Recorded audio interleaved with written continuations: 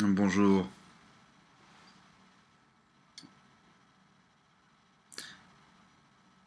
Non, pas cette fois-ci. Mais c'est une chronique pas très éloignée quand même, dont l'idée vient des techniques de campagne en ligne en Russie, avec une vidéo qui a buzzé la semaine dernière au sujet de Vladimir Poutine, le Absolument.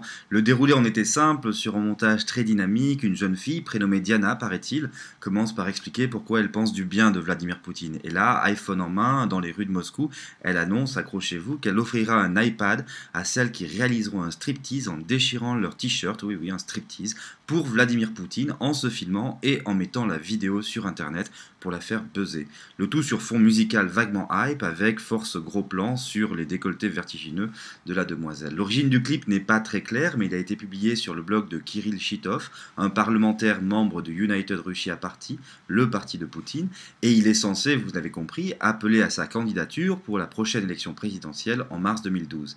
La méthode peut surprendre, en tout cas en France elle peut surprendre, mais un concept similaire avait déjà été utilisé en 2001 par le même Vladimir Poutine, pour lequel un groupe de deux jeunes fille, sexy, avait à l'époque créé une chanson Je veux un copain comme Poutine, un mec plein de force, un mec qui ne boit pas. Le tour sur fond de Eurobeats qui ravirait les fans du Dr Alban tendance 92, si vous voulez.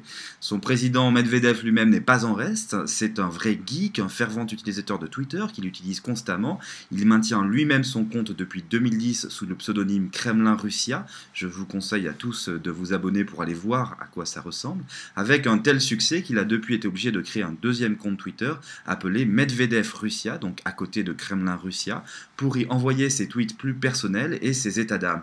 Aujourd'hui, il comptabilise 90 000 followers sur l'un et 400 000 sur l'autre, pas mal quand même.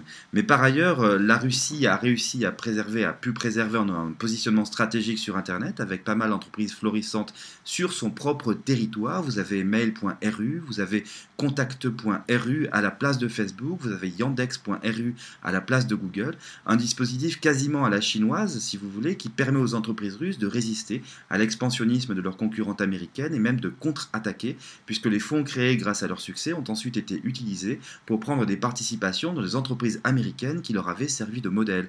C'est ainsi, par exemple, que Yuri Milner, un géant de l'Internet russe, a pu prendre des participations stratégiques de plusieurs centaines de millions de dollars quand même dans Facebook, dans Zynga ou dans Groupon dès 2009 et qu'il participe depuis 2011 au programme Y Combinator qui est la star des incubateurs américains, offrant, et c'est quand même beaucoup, 150 000 dollars à chaque nouveau lauréat.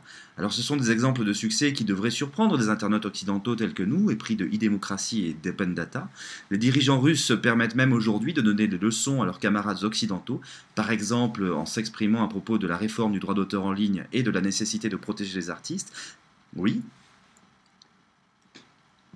Absolument. Donc Medvedev avait expliqué à la sortie de l'IG8 que ses collègues occidentaux avaient une vision trop conservative pour réguler Internet correctement et que peut-être ils n'utilisaient pas assez ou ne le comprenaient pas suffisamment. Et vous, pour conclure, si vous voulez, ce n'est pas un hasard si Evgeny Morozov, si c'est lui, euh, un chercheur d'origine biélorusse, qui est l'auteur de The Net Delusion, qui représente aujourd'hui l'un des principaux critiques de l'Internet utopianisme, rappelant que le réseau des réseaux n'est pas forcément démocratique en soi et qu'il est facile à détourner et en faire un peu n'importe quoi.